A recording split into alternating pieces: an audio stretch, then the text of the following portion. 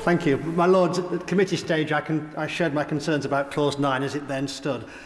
I'm grateful for conversations that have taken place since that time.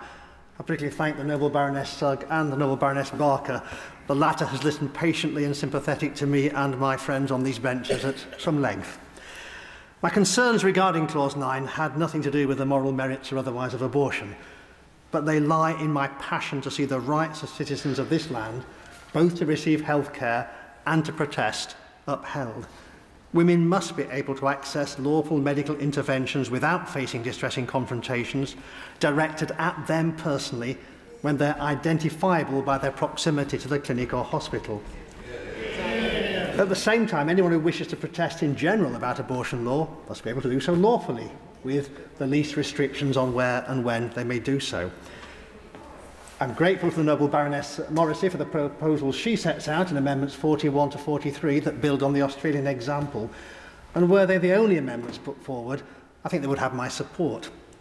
However, what we now have in Amendment 45 is, I believe, something that strikes a more exact balance.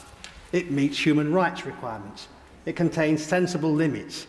It has widespread support and is, I believe, more likely to survive scrutiny in the other place.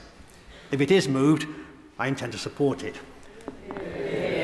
I accept the remarks of the Supreme Court with regard to the necessity of the subclause A on influencing, but I do have two questions, brief ones, on that matter of influencing, on which I would seek some clarification.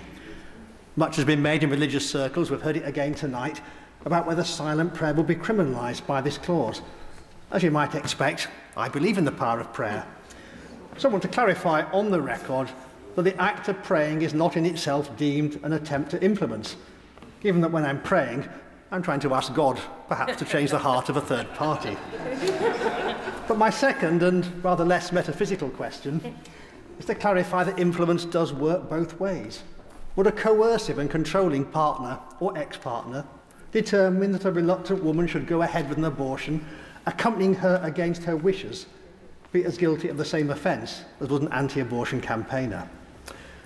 And finally, my Lords, I, I, I cannot support the amendment in the name of Lord Farmer. It would remove safe zone from this bill without providing any obvious parliamentary process for us to re-engage with the issue in a timely manner.